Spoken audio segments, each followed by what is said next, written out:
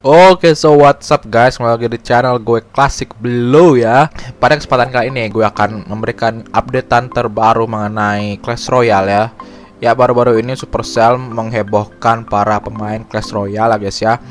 Di mana mereka itu mengupdate membuat updatean terbaru yang sangat besar-besaran banget ya guys ya. Nah, di sini ada beberapa updatean ya guys ya. Ada sekitaran 4 updatean terbaru guys ya. Oke, mari kita mulai saja. Yang pertama, Clash Royale mengeluarkan updatean terbaru yaitu yang bernama New Game Mode Clan Battle. Ya, di mana ini adalah clan battle di mana kita bisa mengajak rekan satu, clan kita untuk melawan dua musuh dari clan yang ber, berbeda guys ya. Dan kita bisa battle dan di mana battle itu akan ada uh, dua King Tower ya menurut gue. King Tower ya ya mungkin King Tower namanya.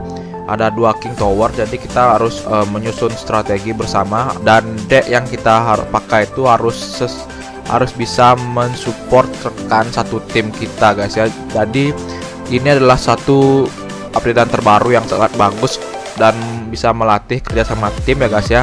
Ini rilis tanggal 24 Maret ya guys ya.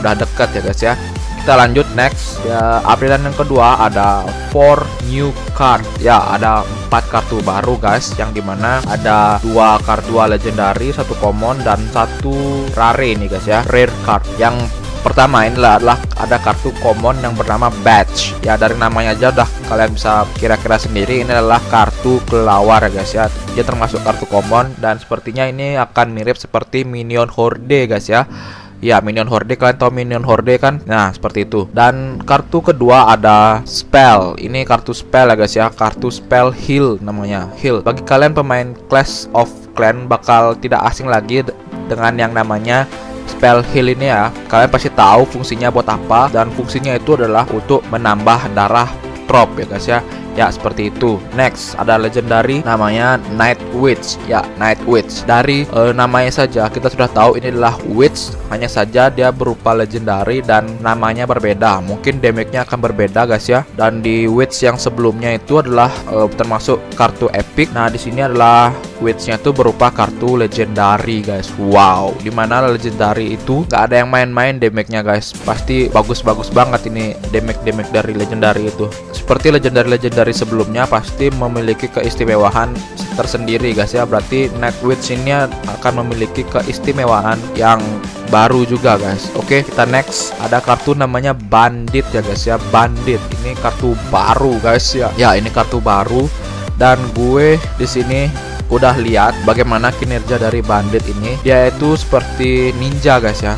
Seperti ninja tapi dalam bentuk seperti superhero gini ya pakai topeng itu di matanya uh, dia itu kayak ninja dia akan mengumpulkan tenaga lalu akan menebas musuhnya. Push push ya seperti itu guys. Pokoknya serem banget ini. Ini mini PK aja sampai kalah guys. Mini PK kalah semuanya kalah dah. Pokoknya legendary ini mantap banget guys. Oke okay, next. Next kita ada New Arena Legendary Arena. Ya, Legendary Arena sebelumnya itu udah ada di Arena 10 guys ya di mana arena 10 ini berganti nama menjadi Hawk Mountain ya guys ya. Gunung Hawk Rider ya. Gunung Hawk Rider ya. Di arena selanjutnya itu adalah arena 11 dan ini adalah the real legendary arena guys ya. Inilah legendary arena yang sesungguhnya ya guys. Kalian bisa capai legendary arena baru ini di angka trofi 3800 trofi guys ya. Oke. okay. Next update terakhir ada liga atau leagues di mana sebelumnya ini gue udah update Clash Royale gue dan bagaimana sistem kinerja liga ini. Nah gue sudah tahu guys bagaimana kinerja dari liga ini. Setelah kalian mencapai legendary arena yang terbaru itu di arena 11 kalian harus mencapai trofi sampai 4000 guys ya. 4000 ya kalau kalian ingin mencapai liga kalian harus mencapai trofi 4000 dulu guys. Kalau kalian sudah sampai 4000 trofi guys ya kalian akan mencapai liga yang namanya challenge one. Challenge one itu adalah liga yang kalian pertama dapatkan di 4000 trofi guys. Setelah 4000 trofi kalian lanjut Challenger 2 kalian itu dapat di 4300 trofi. Challenger 3 4600 trofi. Dan setelah Challenger 3 kalian akan capai di Master 1 Di Master 1 ini adalah 4900 trofi. Di liga yang selanjutnya ada Master 2 5200 trofi, Master 3 5500 trofi, Champion 5800 trofi, Grand Champion 6100 trofi dan yang paling terakhir guys ada liga yang namanya Ultimate Champion 6400 trofi guys. Nah, waduh, susah banget ya kayaknya dapatin trofi segitu. Ya, begitulah guys. Updatean terbaru dari Clash Royale guys. Semoga para pemain Clash Royale makin semangat mainnya dengan update dengan updatean terbaru ini guys. Dan inilah taktik dari Clash Royale tersendiri untuk agar pemain Clash Royale tidak bosan ya guys ya. Oke. Mungkin segitu saja dulu update terbaru dari ini dari Clash Royale dan semoga bermanfaat dan semoga kalian mendapatkan salah satu update terbaru dari Clash Royale ini. Oke.